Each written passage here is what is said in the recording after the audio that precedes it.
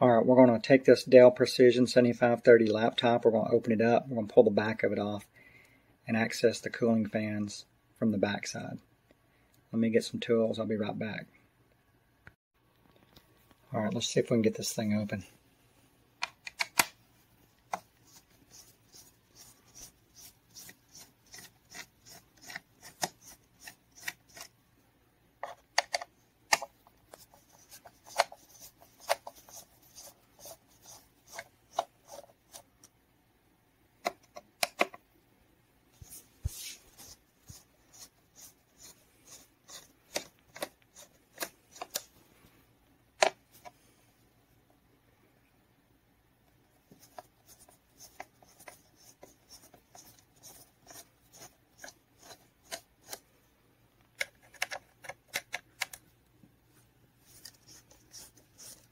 About like watching grass grow. Somebody watching somebody take some screws out of a laptop.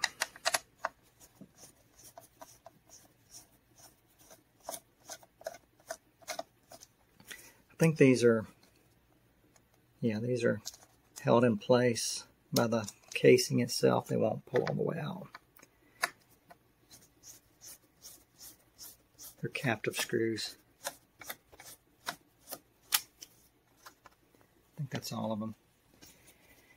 Basically one, two, three, four,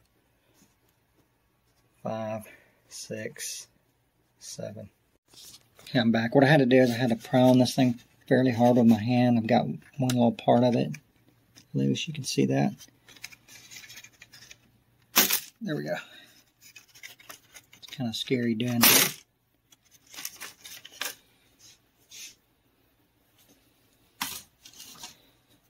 Okay, here's the cooling fans, one right there, one right there. What I'm wanting to do is I'm going to pull these uh, labels up right here. I'm going to see if I can oil the motors.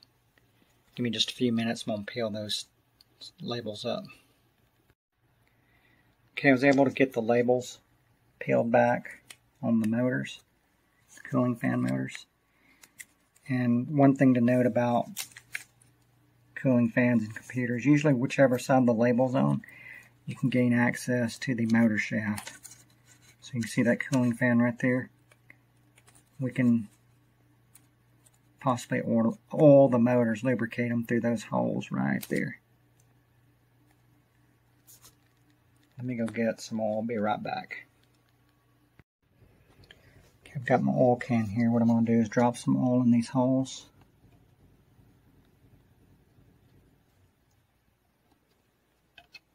A little bit.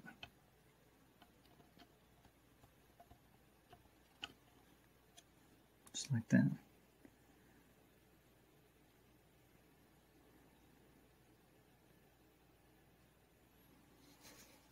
I'm going to do the other side. Okay, let me show you what I did. I got in here with the oil can and I put some oil down those holes on both motors.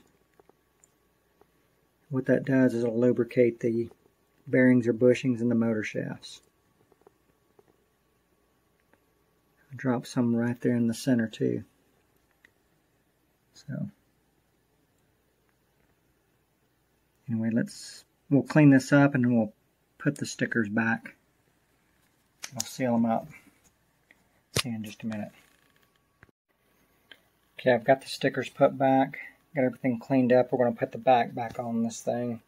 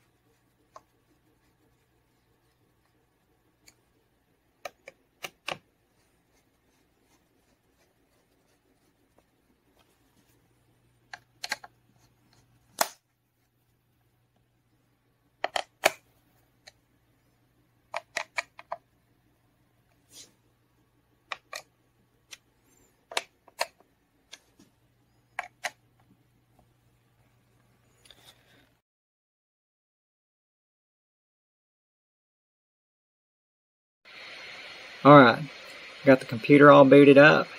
Got some apps running in the background to get the fans to spool up.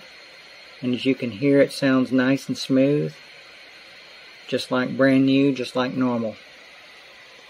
So the fans didn't need replacing. All they needed was a little bit of lubrication. But anyway, hope this helps, and I'll talk to y'all later. Hope you found this video helpful.